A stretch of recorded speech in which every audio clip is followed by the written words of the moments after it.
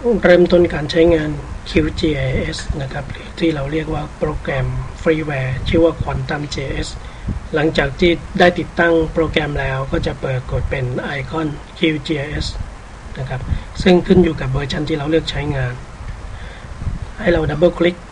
นะครับที่ไอคอนที่เป็นสัญลักษณ์ของ QGIS เพื่อประมวลผลโปรแกรมนะครับหน้าตาของ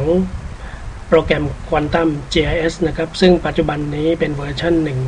นะครับ ซึ่งได้แปลเป็นภาษาไทยแล้วโดยคุณแมน โจติรัตนพิทักษ์นะครับ ซึ่งทำงานอยู่สวทช เราจะพบว่ามีหน้าตา interface เหมือนกับโปรแกรม Windows ทั่วไปนะครับ ที่ข้างบนนี้จะปรากฏด้วยเมนูนะครับที่สามารถเลือกใช้งานเป็นเมนูภาษาไทยแล้วนะครับ ซึ่งคุณแมน โจติรัตน์เนี่ยได้แปลขึ้นนะครับ ซึ่งปัจจุบันเนี้ยสะดวกสำหรับผู้ใช้งานมากนะครับ Quantum JS เองเนี่ยมีฟังก์ชันที่ถูกพัฒนาขึ้นมามากขึ้นกว่าเมื่อก่อนนะครับ แล้วก็เราสามารถที่จะดูรายละเอียดต่างๆได้นะครับ สามารถเข้าไปดาวน์โหลดในเว็บไซต์ต่างๆนะครับ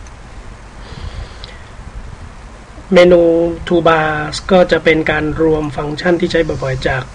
เมนูบาร์ทั้งหมดเนี้ยมาเป็น Button Toolbars นะครับให้เราเลือกใช้งาน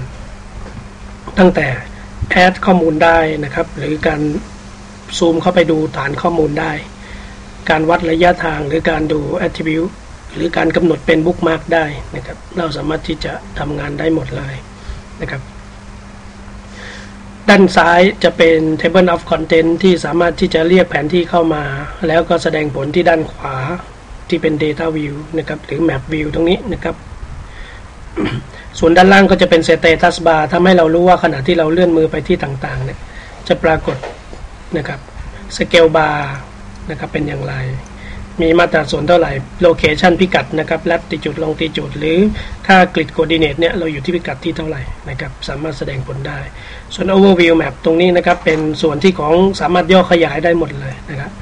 ทุกส่วนเลยย่อขยายนะขึ้นอยู่กับว่าเราต้องการเซตที่มาตราส่วนเท่าไหร่นะครับ overview map นะถ้าเราจะเรียกทูบาร์ทางลัด เราก็สามารถที่กดเมาส์ด้านขวาเห็นไหมครับ มีปุ่มปิดสัญลักษณ์ พอปิดไปหน้าจอสัญลักษณ์ของ Table of Content จะหายไป Overview ก็หายไปก็จะเหลือเป็น Full Full Screen นะครับที่สามารถแสดงแผนที่อย่างเดียว ถ้าเราจะเรียกกลับมาก็กดเมาส์ด้านขวา เรียกสัญลักษณ์กลับมาใหม่ เรียก Overview กลับมาใหม่นะครับ